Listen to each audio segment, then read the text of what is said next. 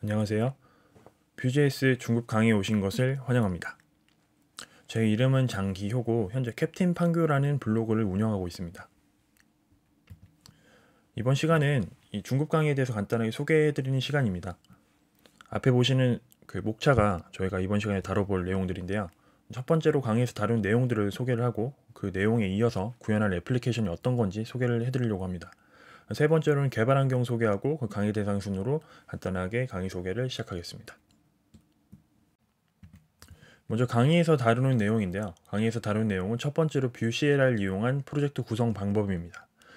제가 기초 강의를 인프런에서 3시간 만에 배우는 Vue.js frontend 개발을 했었는데 거기서 Vue CLI를 다룬 적이 있어요. 좀 상세하게 다뤘었죠. webpack simple이라든지 webpack이라든지. 근데 지금 이번에 어, 3.0으로 베타가 올라갔었고 실제로 제가 이번에 미국에서 음, Vue.js 컨퍼런스를 갔다 왔었는데 그쪽에서 이제 Evan You라든지 그 core 팀에서 얘기하는 Vue.js 그 CLI 방향이 있더라고요. 근데 그런 부분에 대해서 간단하게 좀 소개를 드리려고 하고 그리고 또 3.0을 이용해서 이제 프로젝트를 구성했을 때 어떤 그 모습인지 그런 것도 함께 살펴보려고 합니다. 네, 그런 부분들이 이제 1번이 되겠고 2번은 이제 component 기반 설계 방법에 대해서 좀 얘기를 하려고 하는데 어, 책에서 이미 제가 Do it! Vue.js라는 입문 책에서 component를 어떻게 설계를 하는지에 대해서 간단하게 설명한 부분이 있어요. 근데 그때보다 좀 더 심도 있게 component를 어떻게 한번 다룰 수 있고 어떻게 좀 이제 설계를 하고 특히 이제 presentational component라든지 뭐 container component라는 좀 이제 어떤 component의 좀 명칭들까지 구체적으로 언급하면서 어떤 단위로 component 설계해야지 조금 더 효율적으로 앞으로 그 애플리케이션을 유지해 나갈 수 있는지 그런 것도 좀 중간중간 팁으로 알려드리려고 합니다. 세 번째, component 구조화 및 component 통신 방법에 대해서 얘기를 할 건데요.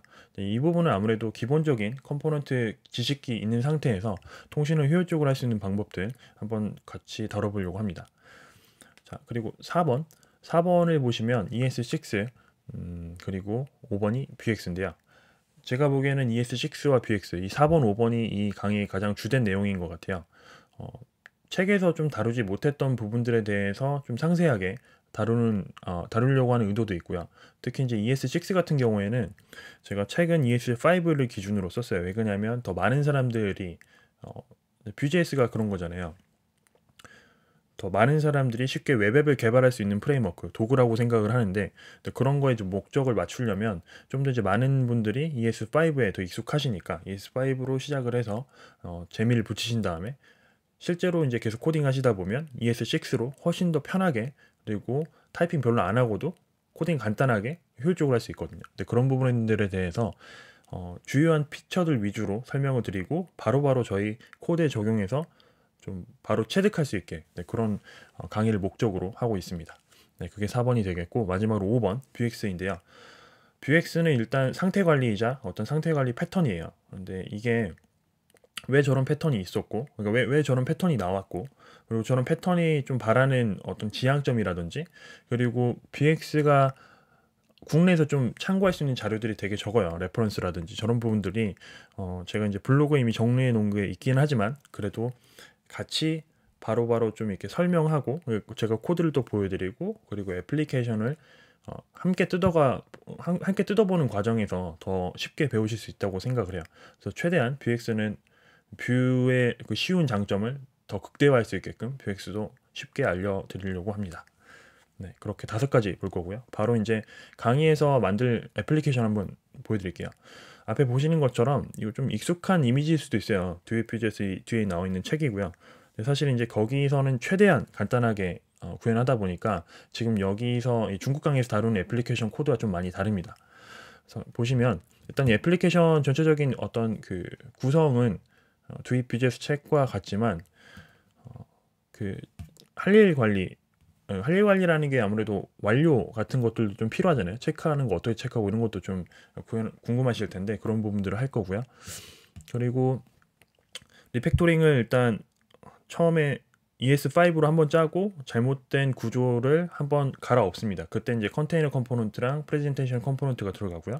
그렇게 ES5를 구조를 한번 바꾼 다음에 그 다음에 들어가는 부분이 바로 ES6예요. 그래서 총 지금 ES6까지 오기에는 두 번의 refactoring이 들어갑니다. 그래서 ES6에서도 되게 많은 문법들이 있지만 좀 더 Vue.js를 간편하게 할 수 있는 그런 문법들 위주로 한번 살펴볼 거고 그 코드를 바로 적용해서 애플리케이션을 개선을 해보겠습니다. 그리고 마지막으로는 Vuex, 네, Vuex를 적용해서 이 to-do 앱을 앱이라는 간단한 앱에서 Vuex를 시작해야지 좀 더 이제 복잡한 애플리케이션에서도 그 구조를 이해한 상태로 짤 수 있다고 생각을 하거든요. 그래서 이제 Vuex를 설명하고 바로 코드를 어, 적용해 보도록 하겠습니다. 자 그러면은 간단하게 저희가 만들 애플리케이션 한번 살펴볼게요. 앞에 보시는 게 지금 좀 익숙할 만한 그런 코드인데 지금 제가 로컬에 올려놓은 거고요. 보시는 것처럼 뭐 되게 익숙하죠. 근데 아마 이런 체크 기능들은 저희가 초급은 다 하셨잖아요. 초급 체크하고 지울까요? 네, 초급 지우고. 네, 이런 것들은 아마 React도 사실 뭐 필요 없죠. 네. 아, 뭐 React를 까는 건 아니고요. 근데 React는 저희, 저희 주제에서 벗어난 거기 때문에 지운 겁니다. 그리고 이건 시연용이라서 지금 지운 거고요. 보시는 것처럼 Vue 개발자 도구의 이런 Vuex를 다루는 부분이에요. 지금 사실 이게 자 좀 더 확대를 해드릴까요? 아, 이쪽을 Vuex 탭에서 지금 Vuex가 동작하고 계시는 걸 보실 수 있으세요. 지금 이 todo 앱은 간단한 ES5로 제작한 게 아니라 Vuex를 다 입혀서 Vuex로 구조화한 앱이에요. 근데 이런 것들을 Vue 개발자 도구를 이용해서 어떻게 Vuex를 쉽게 분석하고 그리고 그거를 어, 구현할 수 있는지 저희가 이번 강의에서 배워보도록 할게요. 자 다시 돌아가서 애플리케이션까지 소개 마쳤고요. 음, 다음 개발 환경 소개 들어가겠습니다. 개발 환경 소개는 보시는 것처럼 Vue.js 어, 당연히 Vue.js 아셔야 합니다. 네, Vue.js 기초는 알고 계셔야 지금 바로 저희가 애플리케이션부터 구현할 거기 때문에 기본적인 개념은 다 알고 계셔야 해요. 그래서 제가 뒤에 나오는 강의 대상에도 그리고 강의 소개 페이지에도 기본적인 개념, 특히 이제 어, 아마 제 책을 보신 분들이 바로 시작하기 좋으실 것 같고 혹은 이제 인프런에서 이제 기초 강의 들으신 분들이 바로 이어서 어, 시작하기 편하게끔 지금 전체적인 커리큘럼 구성을 했어요. 그리고 이제 npm이랑 Node.js 같은 경우에도 책에 좀 이제 설명을 했는데 예전에 이제 현대 웹앱 방식 현대 그러니까 예전에 이제 웹 개발 방식과 지금 현대 웹 개발 방식이 조금 달라요. 그런 부분들에 대해서도 조금 이해하고 계신 분들이 보시기 좋고 또 npm으로 진행을 할 겁니다. 어, 크롬 브라우저 그리고 방금 보여드렸던 Vue 개발자 도구 다 설치 필요하고요. 그런 것들에 대해서 이 다음 시간에 개발 환경 구성 가이드를 드릴 거예요. 기초 강의에서 이미 제가 Node.js라든지 npm 그리고 크롬 개발자 도구, Vue 개발자 도구 다 설치하는 방법 알려드렸기 때문에 아울러서 GitHub까지 가운데 보시는 GitHub까지 다 설치하고 오시면 될 것 같아요. 그리고 GitHub을 가운데 둔 이유가 한 가지가 있어요. 지금 이 강의는 음, 자 잠깐 볼까요? private repository를 제가 하나 파놨는데 중급 강의를 들어오신 분들을 위해서 지금 구성한 repository고요. 목차가 3개 정도 있지만 실질적으로 branch가 여러 개가 있어요. 이 branch별로 지금 강의 전체적인 목차가 있지만 그 중간 중간에 branch별로 이제 전환하셔서 그 branch에서 그 따라오지 못한 코드들에 대해서 훨씬 편하게 파악하실 수도 있고 이 branch만에 한 바퀴 도셔도 전체적으로 아 이렇게 애플리케이션이 개선돼 나갈 수가 있구나라는 걸 한눈에 보실 수가 있을 것 같아요. 이 private repository로 관리되는 관리되는 GitHub 어, 네, 이었고요. 그래서 이제 강의 신청하시게 되면 제가 이 private repository 전부 다 추가를 해드릴 거예요. 그래서 그거를 참고하시면 될 것 같습니다. 자 마지막으로 VS Code가 있네요. VS Code 어, 이번에 Vue.js 컨퍼런스 가보니까 Atom 뭐, Atom도 좋지만 VS Code에서 주는 장점이 너무나 많더라고요. 그래서 이번 강의는 VS Code로 그리고 Vetur, Vetur라는 VETUR이라는 플러그인이 있는데 그 플러그인을 중심으로 Vue.js 코드를 어떻게 편하게 할 수 있는지 한번 살펴보도록 하겠습니다. 네, 거기까지 개발 환경 마치겠고요. 강의 대상입니다. 음, 소개 페이지도 나와 있었겠지만 일단 Vue.js 기본 개념을 학습하신 분들이 가장 적합합니다. 네, 두 번째로는 기본 개념 측면에서 누구나 다루는 Vue.js 3시간 기초 강의를 마치신 분들 어, 가장 좋으실 것 같고 두입 Vue.js 입문서적도 그 아울러서 같이 보시면 너무 좋을 것 같습니다. 왜냐하면 두입 Vue.js 입문서적에도 이제 그 기본 개념뿐만 아니라 기타 어떤 라이브러리 뭐, 뭐 호환 호환이 아니죠. 라이브러리를 이제 통합한다든지 그런 내용들도 많이 들어가 있어요. 그리고 웹 개발에 있어서 좀 성능 쪽으로 어떤 부분들이 더 개선될 수 있는지 그런 것도 중간중간 들어가 있으니까 그런 것들을 보시고 함께 보시면 더 많은 어, 학습 효과가 있으실 것 같아요.